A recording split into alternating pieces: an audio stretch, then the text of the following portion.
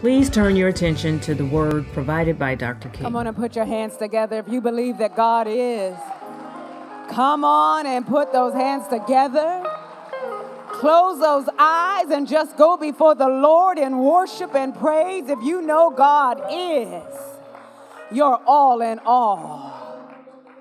Your all and all. Hallelujah. Gracious God, we come in the name of Jesus to bless your name and to honor you. We lift you up and we praise you and we thank you that you are indeed our all and all. Ah, God, we bless you. Yeah, we bless you. We bless you. Yeah, we thank you. We, we, we experience your presence right now. We thank you for being right here in our midst. We thank you for the assurance of your grace. We thank you that you are with us even as we go through the valley of the shadow of death, the death of loved ones, of employment, of health, the death of dreams. God, you are with us.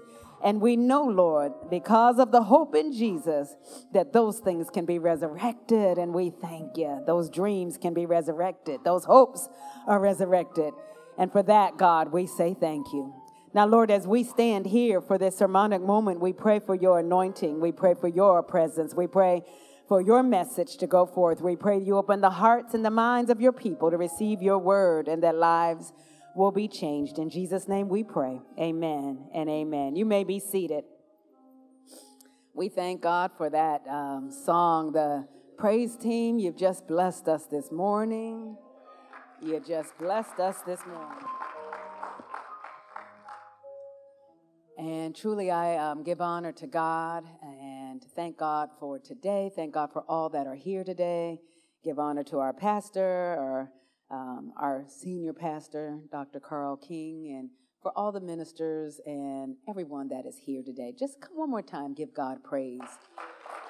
If you are thankful, yes, and we do thank God for that praise team. Could we turn to Mark chapter 2? Verses 1 through 5. Mark chapter 2, verses 1 through 5. When you have found it, please stand as has become our custom to give honor to the reading of the word. Mark chapter 2, verses 1 through 5. And it reads as thus in the New King James Version of the Bible. It says, And again he entered Capernaum after some days, and it was heard that he was in the house. Immediately, many gathered together so that there was no longer room to receive them, not even near the door. And he, talking about Jesus, preached the word to them. Then they came to him, bringing a paralytic who was carried by four men. And when they could not come near him because of the crowd, they uncovered the roof where he was. So when they had broken through, they let down the bed on which the paralytic was lying.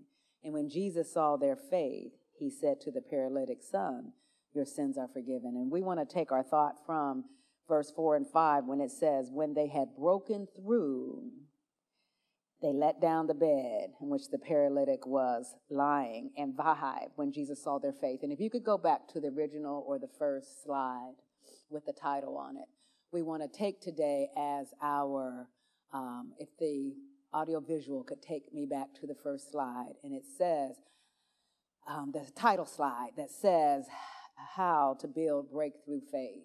How to Build Breakthrough Faith. Amen? You may be seated. As I've been reflecting on just the things that are going on around us today, I'm convinced that we live in some very uh, stressful times and we face what I call growth inducing situations. And you may want to write that down growth inducing situations. I don't call them problems, I don't call them, um, you know, challenges, so to speak. I call them growth inducing because they induce our growth. They, they um, cause and force us to grow up and to grow in our relationship with the Lord. These situations cause us to draw upon our faith in God and rely upon the Lord like never before. These situations that are growth inducing and stressful often reveal just how much we are not in control of the situations we face or the situations around us. For instance, unexpected medical diagnoses, inexplicable cancers, liver disease, autoimmune disorders, mental health illnesses, especially those caused by brain chemistry. We don't understand those. We don't cause them. We don't even have control of them. A friend of mine, as I told you last year, uh, having some stomach and abdominal pain, and she, when she went in, they took out her um, gallbladder and found that the gallbladder was cancerous. They said that it's I can't even remember one in like millions of percentage of people that even get gallbladder cancer. It was a rare, but it had spread to her litter, liver, and within six, seven months, she was gone. Inexplicable, caused then her family and friends, those of us, to get to another level of just seeking God. Unexpected job losses. Uh, corporate, you know, it's amazing to me that the jobs reports say that we're at an unemployment rate of about 4, 4.5, lowest in I don't know how many years. But I know a lot of people who are unemployed and have been long term unemployed or underemployed. And they use fancy words like reduction in forces or reorganization. Downsizing was in my day, and now they tend to use right sizing all are fancy words that leave a person without a job after 5, 10, 20, 30 years of loyal, high performing service. Growth inducing situations, growth inducing long term um, underemployment, as I said, because of the market conditions. Some people are not able to find jobs in their field in spite of the fact that they have either the education and training for the field or they have long term experience that qualifies them, and it becomes inexplicable why is this happening? Growth inducing situations. Unexpected effects of aging, joint deterioration. You wonder, what is this happening? Lower back issues. I'd begin to have some lower back and sciatic nerve pain. And as I went to the doctor, he said, Oh, you've got to understand that back issues are the common colds of the skeletal system. In other words, you live long enough, everybody at some point is going to have some type of lower back issue because we use it, we sit, we stand, it puts pressure on it. I said, Well, why didn't somebody tell me about this before, right? Many of us heard older loved ones complain about Arthur, right? and sciatica, and we didn't think much about it until it started happening to us. And these days, young people are not immune to these inexplicable situations as one school after another becomes a target of seemingly random gun violence. We scurry hard to act, to do something because we want to feel like we're in control, but then get frustrated and some fall into depression and sadness when we can't turn these situations around on our own. What's more, these situations can and can be and are overwhelming, and if we're not careful, we'll get stuck in our own mindsets and thinking because we can't think our way out of this trouble. In the Western society and the educated the way we are, we think that if we just think hard enough, we plan long enough, we get the right formula, the five steps to healthy living, the seven steps to you name it, and we think that in a matter of time, we should be out of this situation. we live in a microwave age in which we pop dinners into the microwave, and in seven minutes, the baked potato was baked. In the old days, we put it in the oven for a good half hour, 45 minutes, but now the baked potato is baked in seven minutes.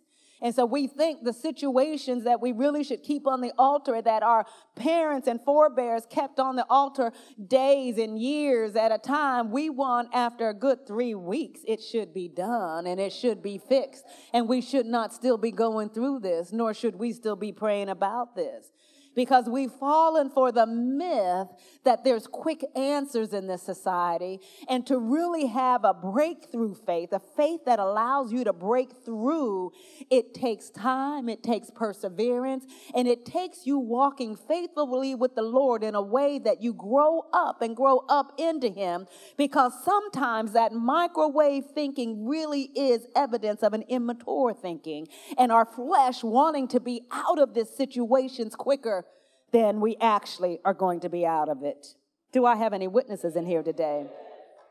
So when it doesn't turn out the way we want or when we want it, then um, those feelings of being overwhelmed come. It causes us to get stuck, paralyzed, frozen, um, and it causes us to feel blocked in our ability to see and get to the Lord who has the answers for us. We end up not feeling like we can pray or we want to pray anymore. And really, prayer is really about a relationship with God such that there's this ongoing communication and commune with God. It's not just to ask God for things, and it's God has promised us to be with us in the time of trouble.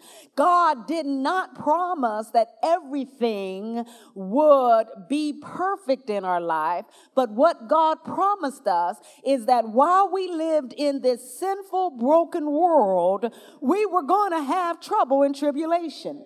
Jesus said, In this world you will have tribulation, but be of good cheer or be encouraged. I have overcome the world.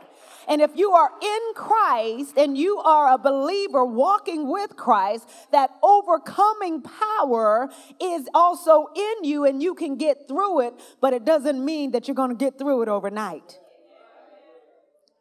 Jesus promised us that, uh, uh, that he would be with us, that he would never leave us nor forsake us. But he did not promise us that life would be perfect.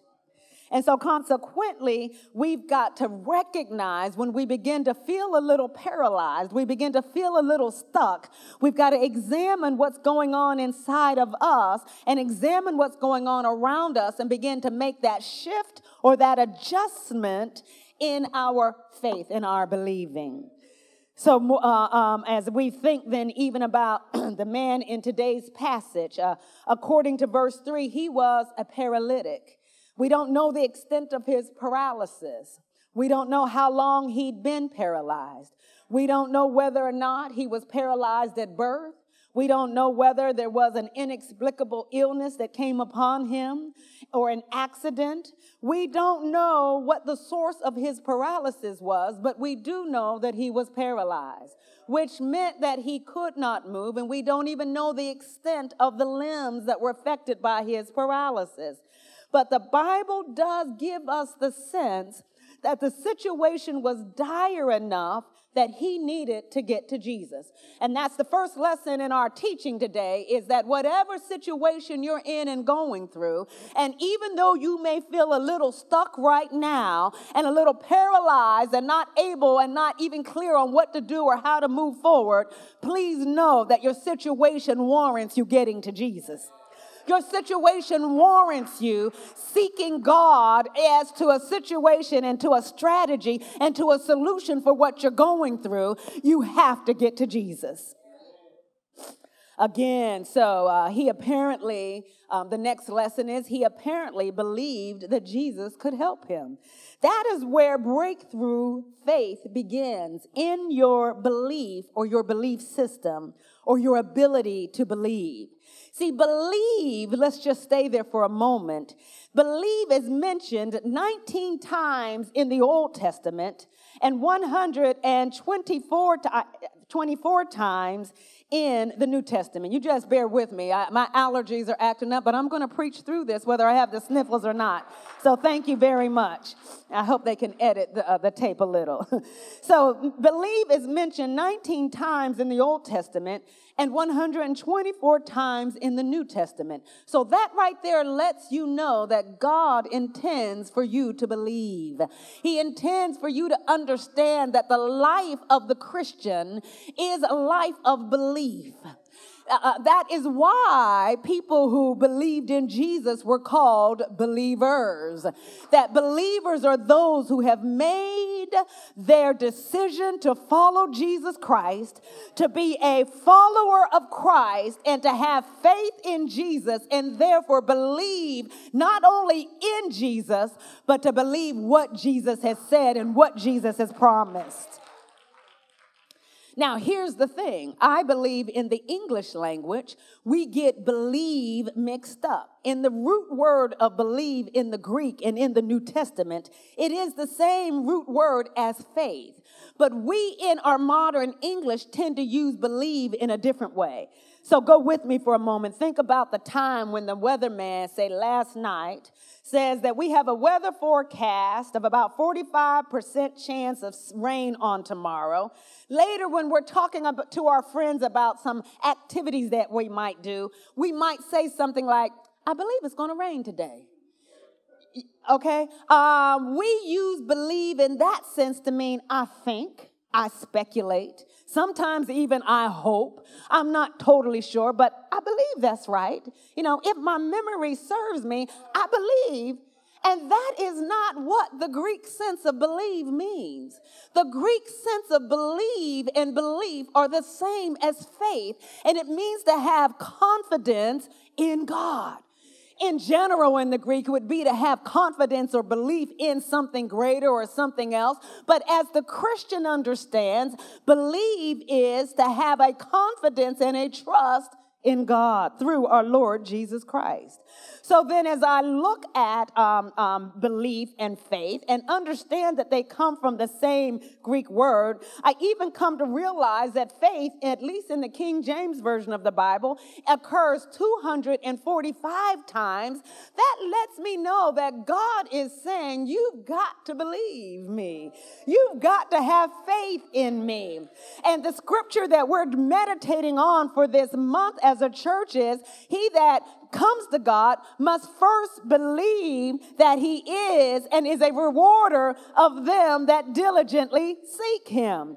In other words, God intends as we walk this walk, as we live this life, we have got to be people of faith who believe God who trust God that regardless of what's going on around us, regardless of the situations and the inexplicable circumstances of our lives, no matter what the health challenge, no matter what the mental health challenge, no matter what the financial challenge, that we believe God. I went to college in uh, uh, Columbus, Ohio at the Ohio State University, and my dear friend that I met my first year in college is here. And there was an evangelist out of Indianapolis, which is where her mother is from. Her name was Mother Mildred Boyd. And Mildred Boyd would always say, I believe God. oh, it wasn't just I believe in God, I believe God. And how she knew this God is because she was in relationship with God through our Lord Jesus Christ, filled with the power of the Holy Spirit. She stayed in her word to know the nature of God, to see how God operated, and to see God operating in her life. She was a woman of faith and she had testimonies, and that's, I believe, is what God wants us to get to a place in God that regardless of what's going around us, we say, I believe God. I stand flat footed on this podium, on this platform, and I can say, I believe God.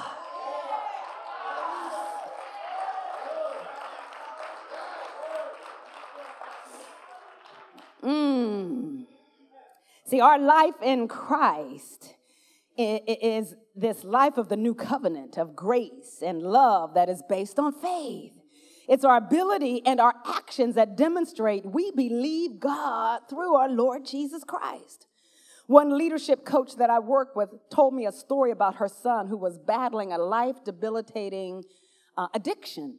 He was addicted to drugs, and she's a woman of faith. The husband's a woman of faith. They were ministers. And of course, I can only imagine excuse me, I can only imagine that they wondered how did this happen in our family? We're good god-fearing um, ministers of the gospel and our son is strung out on drugs and they'd get him help and he seemed to go back and and and um, they ended up going through al-anon. Uh, how many know what al-anon is? It's a support group for those who have addictions in their family because addictions and other types of illnesses, both physical and mental, affect the entire family system.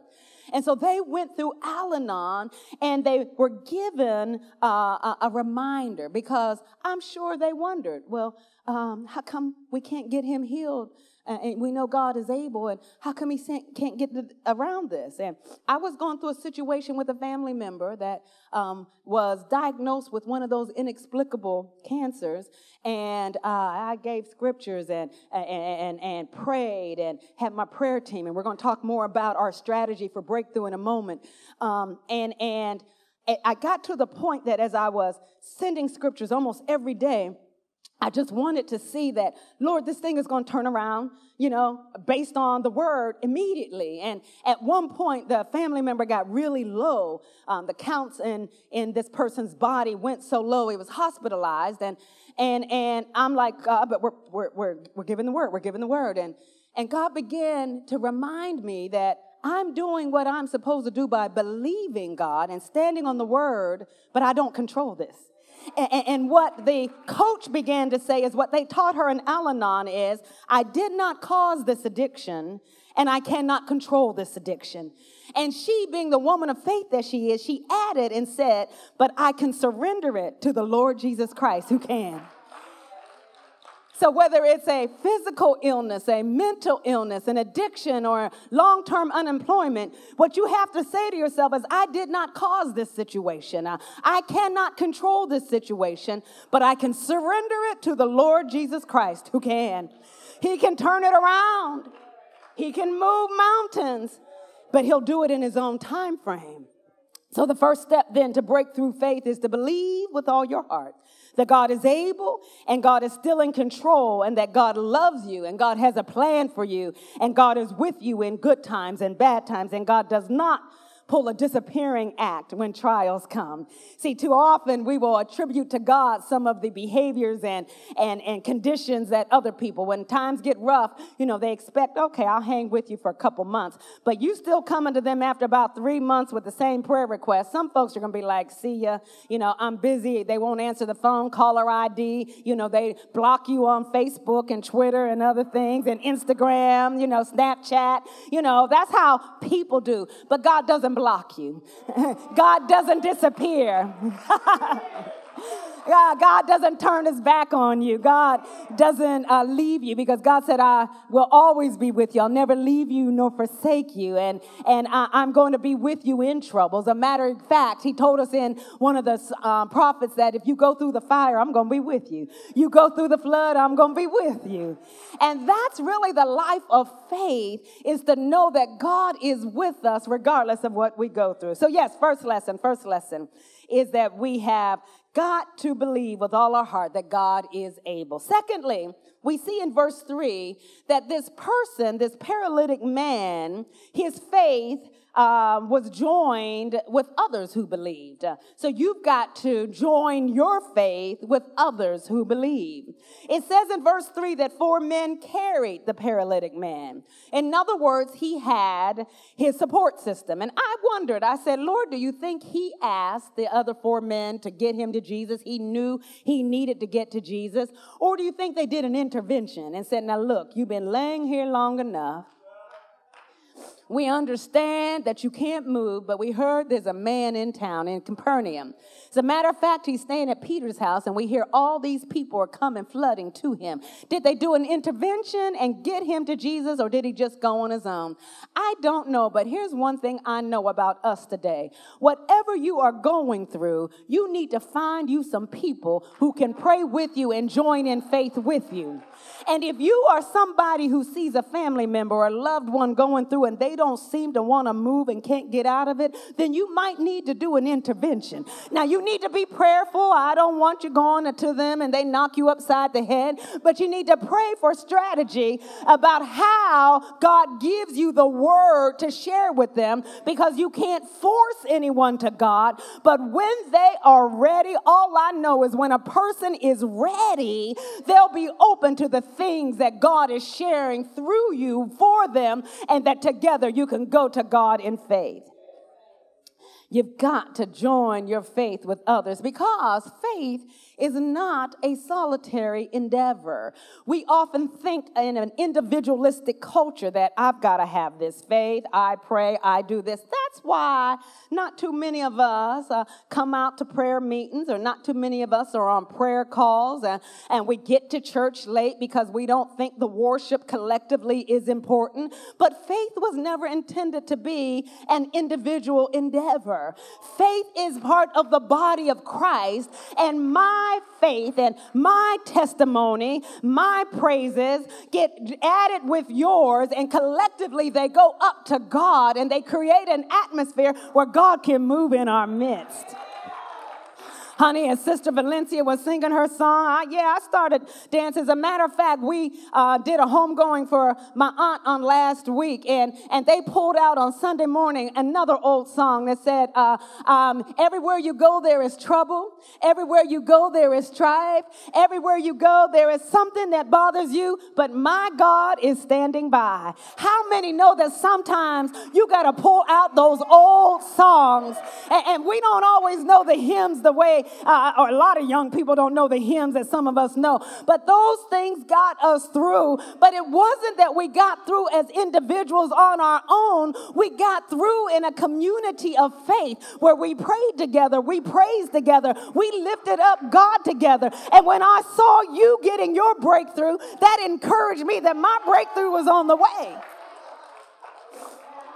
Yeah, yeah, yeah, yeah. Faith was not to be a uh, solitary endeavor. When these trying times come, you've got to find you some other believers who can join their faith with yours and carry this situation to the Lord in prayer. Now, I'm going to give you two tips on, I'm calling this putting together your breakthrough team.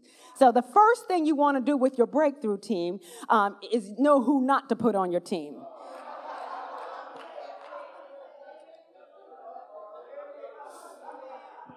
You don't put on your breakthrough team complainers. Mm, I can't have you complaining. I can't have you fussing because God hasn't answered fast enough. I can't have you complaining that God hasn't healed us fast enough or you don't have enough money. Nope, nope, no complainers. Uh, we also don't want people who post everything on Facebook and Twitter and, t- and, and what's the other ones? Twitter, Facebook, and I know some of you are watching this on YouTube, but Snapchat and Instagram. I have a, a, relative who's going through something, and he put his little breakthrough team together, and, and unfortunately, he left out a relative. And we were like, okay, you sure? He said, yeah, because they put everything on there. When they go through, they, it's on there. Uh, so I'm just saying, you want to make sure that folks who tend to put all the negative complaints out there, people prone to emotional reaction. Now, what that means is, because uh, there's going to be some times in these struggles that you have, that sometimes it's going to look worse than it looks better. And that lets you know that there are going to be times that it looks bad, and people who are prone to emotions will walk by sight, and when it looks bad, they'll start speaking bad, and they're about speaking what they see. But when it goes down, is the time that you've got to more than ever before speak the word of God, pray the word of God, and begin to continue to see yourself on the other side of that challenge.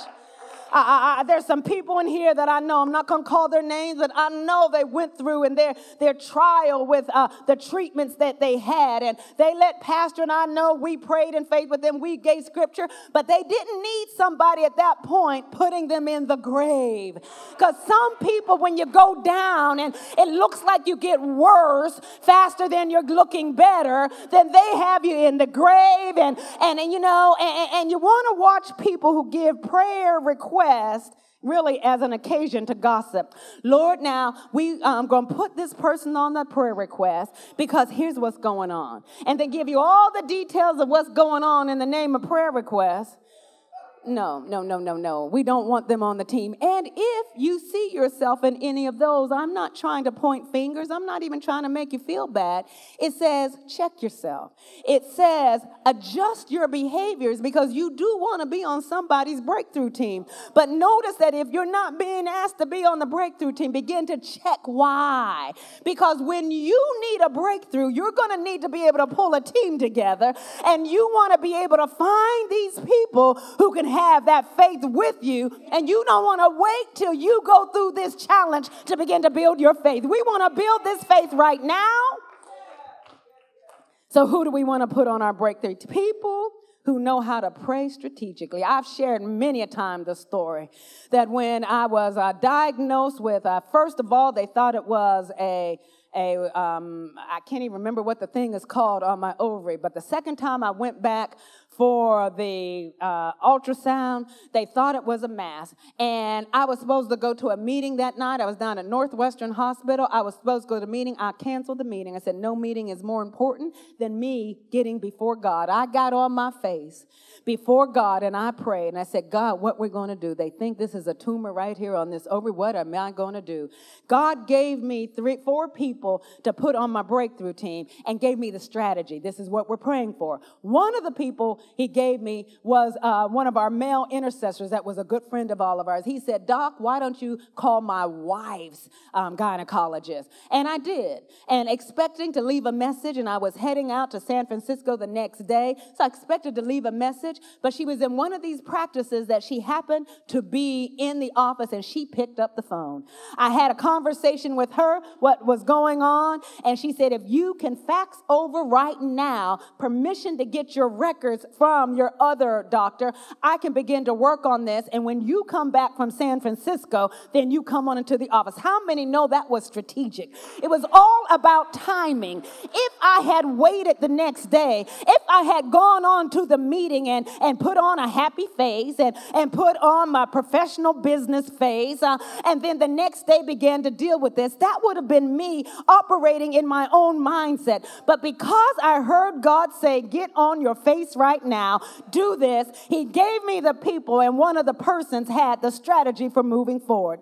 The answer to all that is also that sometimes on your strategic team, you need a good professional. Uh, uh, some of us, when it comes to, uh, now I'm a firm believer that God is sovereign, God is able to heal. I grew up in a church that we believed in healing, we saw God heal, but I also believe that God uses medical um, professionals, psychologists, and psychiatrists and counselors because God works through them. All healing comes from God. So this particular doctor was a believer. How many know she was a member of one of our churches? And she not only walked with me through that situation, but she was able to literally um, discount that there was any cancer even before she went in to take out the tumor. She was able to do a test. How many know that was revelation from God to tell her what to do? That's, that's what we're talking about. That's what we're talking about. So you want, uh, uh, you're looking for uh, uh employment. Uh, yep, get somebody who can pray with you. Somebody's been through it. They have a track record of praying. But also find you a good employment agency. Uh, ask for the good um, um, recommendations on the internet of those that have used successful job search sites.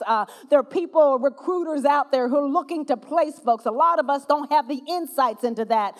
Um, if there's some depression and some sadness in the family. Uh, uh, uh, find some good counselors that can help talk you through it. And sometimes some of the issues that we face are of a biologic nature that you might need some um, medicine to get the um, brain chemicals straightened out. We don't like to often talk about that in the church setting, but all that is part of the breakthrough team. You know good and well if you broke your foot, you'd be going over to the doctor to have an x ray. And why, if you break something else in your life, your heart, your mind, your soul, why are we not finding the people who God can send us to to help us with these breakthroughs? So, who else do we put on the team? You want to have a people who have a track record of praying people who are in relationship with you and that you can trust with sensitive information that won't go talking and telling everyone. And if you don't um, have folks like that around you now, then it's time for you to build a new friendship circle. Now, I'm not saying that you kick your other friends to the curb if they're not like this, but I'm saying when it comes to these dire breakthroughs, you got to build your team together. If you're on ministry teams together, I called my uh, the women's leadership team together and we pray weekly now. Because what we had seen happening is too many of us were facing these inexplicable situations and we said we're going to get together on a regular basis and pray. And we've been seeing breakthroughs and growth in our own life I challenge ministry leaders in this church begin to pray with your leadership teams, not just about the strategy for your meetings and for your ministry, but for the people on the ministry because our ministries will only be as strong as the people who are leading the ministries. Carve out some time to pray. If you've got to get up 15 minutes early, if you've got to get up early in the morning, carve out some time to pray together so that you can break through together. So then, what's the next thing? The next lesson on building breakthrough faith is they faith is they pressed through the barriers or obstacles. Now I think this is amazing that when these four men showed up with this paralytic man, they're carrying the paralytic man on his pallet or his mat. And they get to the house where they heard Jesus was staying. And just as a point of connection, when Jesus was in ministry in Capernaum, that was in Galilee, we believe that was Peter's house. It was the same house Jesus went to. And when he got there, Peter's mother was laying sick with a fever, and Jesus laid hands on her and healed her, and she got up and cooked dinner for him. They said he went off and did other ministry, and it said he returned to Capernaum. And we believe it then was at Peter's house that he came to. And in other words, Peter's house became his headquarters. Folks got word that Jesus was back here in Capernaum, and they said folks began to throng and crowd to him because they believed that Jesus was this miracle worker, this healer that could heal their diseases and their issues. And all of the gospel writers attest that he went about teaching and preaching the gospel, healing their diseases, casting out demons. And that's just what Jesus did. And how many know that when you find a way to the Lord in our lives, even now, you're going to share it with others? Honey, when I have gotten a strategy that has helped me get through a particular situation that was dire, I'm going to share everything I know to help you get through it. And so that was happening right then and there. So by the time the four men came with the paralytic man, they said that the house was running over. So I imagine Jesus Jesus was in the house praying, teaching, talking, and people had crowded in the house. They were in the doorway and they were even on the outside trying to push their way in or waiting for someone else to come out. See, they didn't have jumbotrons and they didn't have microphones that they could put up the jumbotrons on the outside of the house so people could see. These were fake people who were expecting something from Jesus and they couldn't get in right there, but they had to wait their turn. But it amazed me that these four men with this paralytic did not wait their turn. They did not let the crowd be a barrier. They did not let the crowd be a distraction. Instead, they found a strategy to get their friend to Jesus. That's why you've got to have people on your team who pray strategically because they might get creative with some things they have you do. They'll get creative because when it comes straight from God, it might not be anything you've heard before. It might not not be anything you're familiar with, but if it can line up with scripture, then you know that that strategy is something that you need to do because it's part of your prayer time. So lo and behold, they they got the man up on the roof, and in those days the houses were, I imagine, like little huts, but uh, uh, they were houses that had thatched roofs and they had stairs on the outside. So they carried the man on the outside of the house up to the roof, and the thatched roofs would have been made with leaves and straw and other things, and they they ended up digging through, uh, taking out large clumps of the roof until they broke through. Look at your neighbor and say, You got to dig till you break through. Uh, look at your other neighbor and say, You got to pray till you break through. You got to press till you break through. You got to keep on till you break through. And, and, the four of them broke through and they let the man down and they set him right in front of Jesus. I am amazed at that story that they did not let the crowds, they did not let the door, they did not let tradition, they did not let the rules, they didn't let the housing code, they didn't let anything keep them from getting their friend to Jesus. They broke through on behalf of their friend and that friend as he was laying there, the Bible says that Jesus saw their faith. I need you to look at that for a moment. In other words, uh, uh, Jesus saw their persistence, and that the very fact that they let the man down in front of him through the roof, I can see Jesus now looking up, then looking down, looking up and of course, because he was Lord, he knew what they had done. But I believe he used it as an object lesson. He said he saw their faith and they healed. Now, first of all, when it says he saw their faith, it was collective, it was plural. Remember again, it's important to have people praying with you. But the other thing is, they saw, he saw their faith. Your faith is observable. In other words, when you really believe God, you're going to do something to show that you believe God it's observable. Uh, uh, people can witness it. Uh, and, and what I like about that, uh, um, Jesus makes this idea of faith explicit. He uses this object lesson that is more implicit to build upon something that he teaches throughout the book of Mark. In Mark, believe is mentioned 15 times, about 15 times. And in very explicit lessons like Mark 9 23, Jesus said to him, a different person, if you can believe, all things are possible to him who believes. In another time in Mark 11 23, he says, For shortly I say to you, whosoever says to this mountain, Be removed and cast into the sea, and does not doubt in his heart, but believes that those things that he says will be done, he will have whatever he says.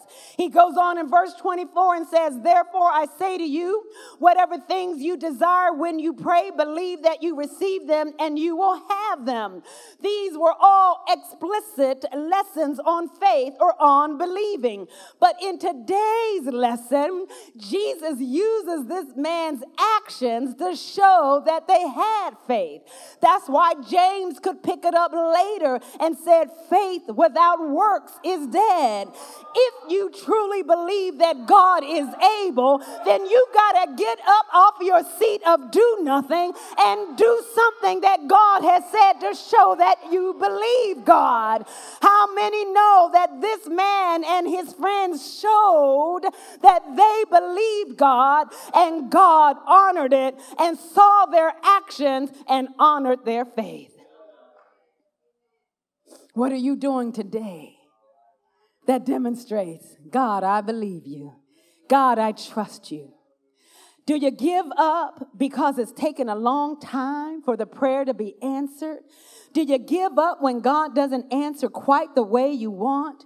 Or do you continue to trust God and recognize that there are going to be ups and downs? There are going to be mountains and valleys in my life, but I am not going to have a roller coaster faith. I'm not going to have a roller coaster set of emotions that one day I'll be up and one day that I'll be down, but I'm going to be steadily believing you, God, that I know there are going to be things I'm going through and going through right now that are inexplicable. They're troubling they're dire. But like the three Hebrew boys, that I know you are able, but if you don't answer it quite the way I want you to answer it, then I'm still gonna be a believer. I'm still gonna hold on to my faith. I'm still gonna trust you, God. I still know that you've got a plan for me. I still know that you've got a work for me. I still know that you love me. I still know that you got me. I still know that I'm your child and you're my God, and together we'll get through this thing. Come on and shout, Hallelujah. Come on and give him glory. Yes. Final tips, final tips. Because sometimes it's going to look worse on the outside. Sometimes when you think something, you know, we grew up, unfortunately, with some of the folks who, you know, name it, claim it, and only ask one time. That is so not biblical. Jesus said, Ask and it shall be given to you. But the tense of that ask is ask and keep on asking. Keep on asking, keep on seeking, and keep on knocking. Because it's about your relationship, and God is someone through Jesus Christ and the power of the Holy Spirit within you that you can talk to on a daily basis. Can you imagine just asking God once for something and then not talking to Him about it ever again? I can't even fathom that. That if I'm in this close relationship and it is a life of faith, I can talk to God about anything. And He does not get weary about me continuing to ask and talk and lay before Him or journaling about it or writing it out. Right? So here's some final tips for you. You've got your team together now. You're praying about your team. You're going to put your breakthrough team together. You're praying about who's going to be on it. You're watching your word. You're, you're, you're getting your own faith together. You are going to lay before God for yourself and you're going to ask God to check you with your complaints and, and your negativity, right? Right? Because we're going to support one another. So the next thing you've got to do is watch your words. Watch your words. You've got to align your words with the promises of Scripture. You've got to align your words with the promises of Scripture. I was blessed to do a, a speaking engagement on yesterday for some teen girls, professional women who mentor teen girls who are from more disadvantaged schools and homes, and they're doing a marvelous work. And I got to speak with them, and we talked about building your confidence. And one of the um, professional women talked about having um, daily, she speaks affirmations to start her day because those are positive words. And, and I applaud that. But I want you as believers to make sure your affirmations are based on scripture because the scriptural component or the scriptural principle is confession of faith. It comes from the word homologia, and it's about confessing or saying the same thing that God says. So when you are going through a situation in which you need healing, you need to confess that by his stripes I am healed. And you need to be able to say, according to Jeremiah 30 17, I will restore health to you, says the Lord. You've got to go in scripture and find those scriptures and those words that are your promises, whether they're for your finances, whether they're for your physical healing, whether they're for your emotional or mental healing, whether they're for your social healing. You find those words in scriptures and you begin to confess those things. You begin to talk so that when the enemy comes in, because now don't ever think for a moment that the enemy's not going to come in and begin to tell you, uh huh, see, uh, ain't nothing happening and you're crazy and you're this and that. And when the enemy does that, you got to say, the Lord rebuke you in the name of Jesus. That your words have got to line up because the trick of the enemy will be to make you doubt that God is on your side and will even make you doubt that God loves you. But that's when you've got to line your words that God said in his word that God loves me with an everlasting love and with loving kindness he'll draw me out. He said, What can separate me from the love of God? He says, Nothing in all these things. I'm more than a conqueror through him that loved us. Watch your words. Watch your words. Align them with scripture. Let the words of my mouth and the meditation of my heart be acceptable in your sight, O Lord, my strength and my redeemer. I like to give it what, uh, you know, Bishop Talbert Swan came and said he had first T 3 and 5. Well, this is um, um, the, the new J King version of the Bible. He says, Let the words of my mouth and the meditation of my heart align with the words of God. Let it align with your words, God, so that I'm speaking the same thing that you're speaking. Secondly, you got to persevere, keep pressing, even when the breakthrough takes a while. God never promised you an overnight breakthrough. What he promised you is that he's sovereign and he'd be with you. Look at Job. Look at all the people in scripture he promised you he'd be with you to the other side, but didn't give you a timing. He doesn't even give us the timing of when he's coming back for us. So, our need for control is for us to set the time. We set appointments, we set the length of our meetings, we set the length of everything. And God has said, You are not going to control me, and you are not going to put me on a time schedule. Because what I'm building in you is character. I'm building in you faith. I'm building in you perseverance. I'm building in you, I'm growing you up. And then give God the glory. While you're going through, give Him the glory. When you get through your breakthrough, give Him the glory. When somebody else is going through, give Him the glory. Here's what I want you to do I want you to stand to your feet right now. Stand to your feet. And we're going to practice this breakthrough faith. The first thing I want to do is I want the altar team to come and the praise team to come back up. We're going to create this atmosphere. The first thing I want, though, is to make a call to discipleship or salvation. For anyone who has not received the Lord Jesus as Lord and Savior, who has not um, come to Him, who's not made that public confession, who's not even um, wa- walking with Him, if you, this is your invitation to come down. And I want every eye to be closed right now. I want every eye to be closed right now. And I want you to just put that down for a moment. Is that, take it down, take it down.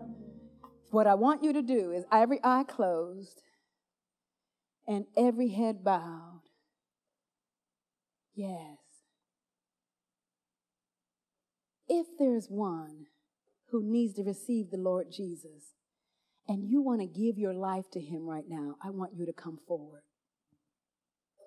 I want you to come forward right now that I might pray with you and walk you through the sinner's prayer, that you're dedicating your life to him right now. Is there a young person? Is there an older person? Is there one? Thank you for joining our broadcast today. For additional information, please visit us on our website, our Facebook page, or Twitter.